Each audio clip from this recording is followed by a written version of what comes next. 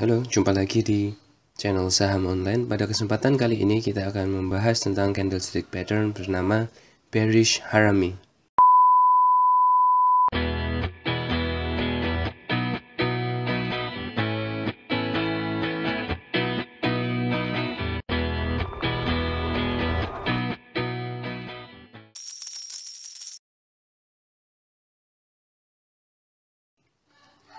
Apa itu bearish harami? Bearish harami adalah sebuah uh, candlestick pattern ya.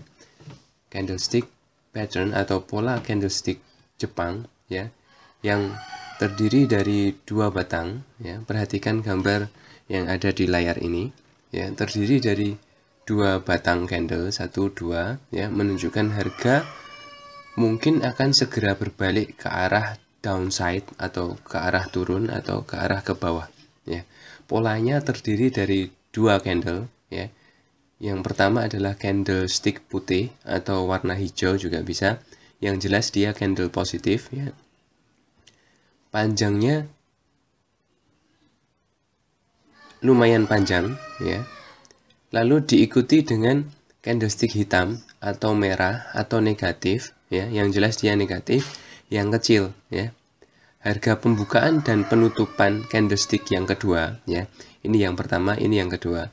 Nah, harga pembukaan dan penutupan candlestick yang kedua ini harus berada di dalam tubuh atau body ya, body dari candlestick yang pertama.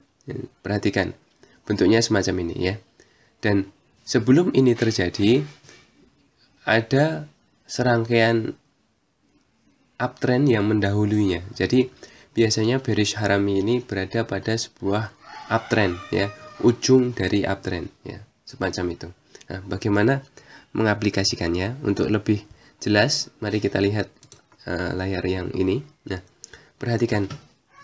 Nah, bearish harami uh, yang bentuknya seperti ini ya, dapat kita temui pada puncak dari uptrend ini ya. Perhatikan dia terjadi dengan diawali dengan kenaikan yang baik ya. Kenaikan terus menerus seperti itu.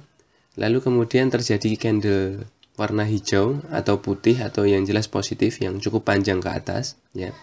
Lalu kemudian terjadi candle merah atau hitam atau yang jelas negatif yang pembukaannya dan penutupannya itu berada di dalam bodinya atau badannya atau tubuhnya candlestick hijau yang panjang yang pertama ini ya. Perhatikan yang ini. Nah, itu adalah sebuah tanda ya.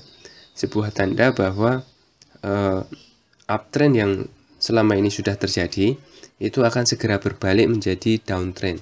Ya, ini adalah sebuah uh, candlestick pattern atau pola candlestick Jepang yang uh, perlu diwaspadai dan ketika itu terjadi ya ketika itu terjadi pada kondisi ya di mana stokastik atau e, eh, RSI itu mengalami posisi overbought atau jenuh beli yaitu di mana stokastik itu angkanya nilainya itu berada di atas angka 80 ya maka itu adalah sebuah uh, warning yang cukup kuat bahwa memang uh, uptrend yang terjadi ini akan segera beralih menjadi downtrend atau dia akan mengalami reversal ke arah turun ke downside.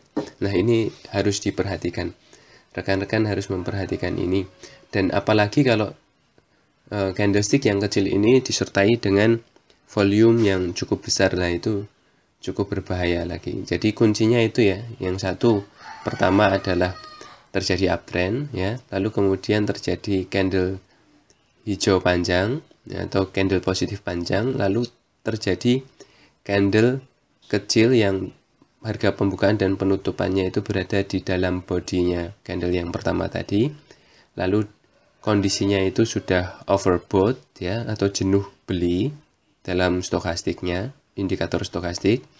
Lalu setelah itu apalagi jika ditambah dengan volume nah itu adalah pertanda yang cukup kuat bahwa itu akan terjadi downtrend. Untuk mempelajari uh, indikator stokastik sudah ada di video yang sudah kita uh, sampaikan sebelumnya bisa dilihat lagi.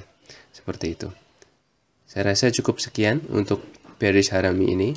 Jangan lupa like subscribe dan share. Sampai jumpa di video selanjutnya dengan materi-materi yang lain